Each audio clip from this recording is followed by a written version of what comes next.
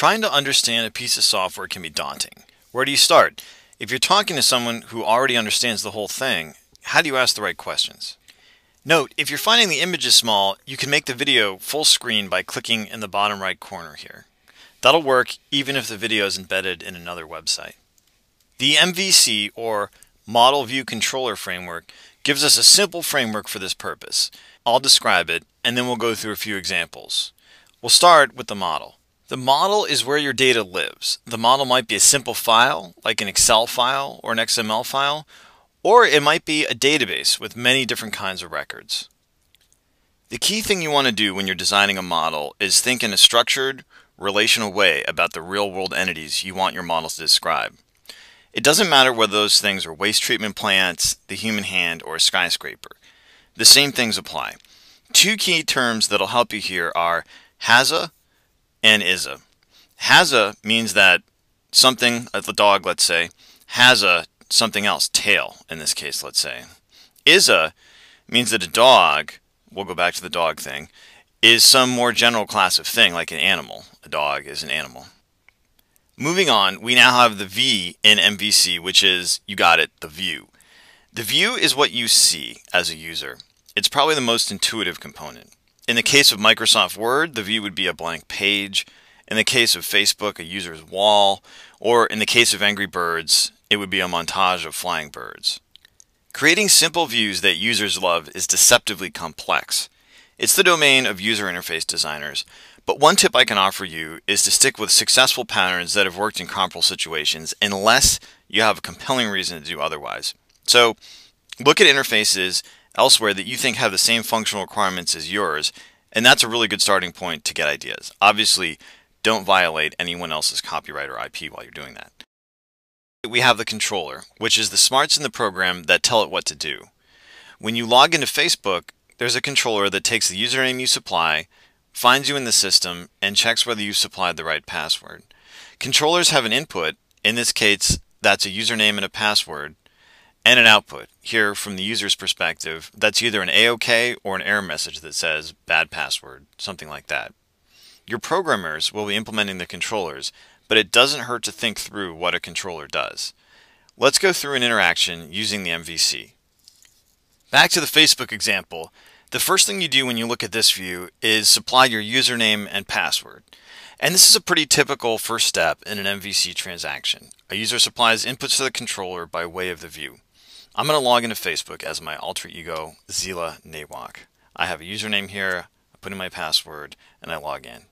And this is step one of the process where the user supplies inputs to the controller by way of the view. In the next step, the controller has to figure out what to do with regard to this username and password. Log the user in, right? It seems simple, but when you think about it, there are actually a few steps, even in the simplified version. First, the controller needs to see whether it can find this username in Facebook's directory of users. That's marked here as A.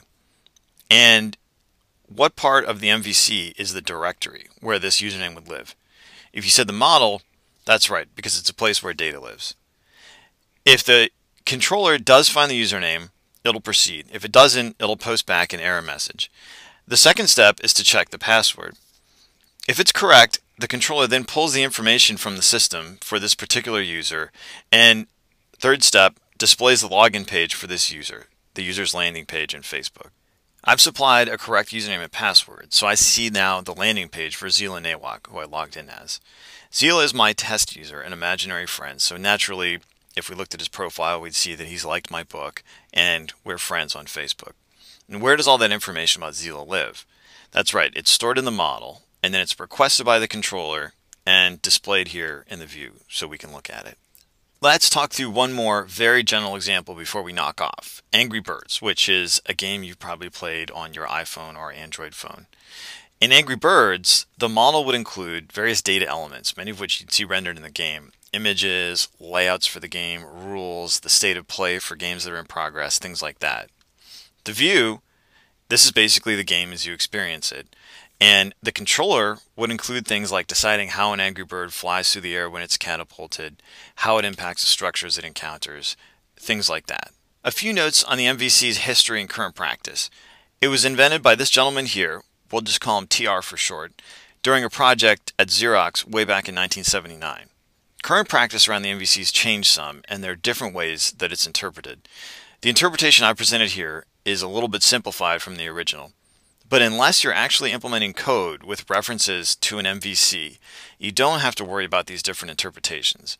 As long as you explain that what you mean by M model is where the data is stored, V view is what the user sees, and C controller is the underlying logic, you'll be fine. My book, Starting a Tech Business, describes the MVC in more detail in Chapter 3, along with a few other things you might find handy if you're developing or deploying technology products. Prior to that, in Chapter 1, the book describes how to formulate and test new ideas. Chapter 2 describes how to launch and subsequently manage the strategy for a technology business. Chapter 4 describes systems architecture, how multiple applications fit together to make a functioning system. Chapter 5 describes the different roles you'll need to staff and manage in a technology enabled business. Chapter 6 describes best practices around technology development. Chapter 7 describes operational readiness with an emphasis on effective process design. And Chapter 8 describes how to scale successful model. If you're interested in the book, check out www.alexandercowan.com.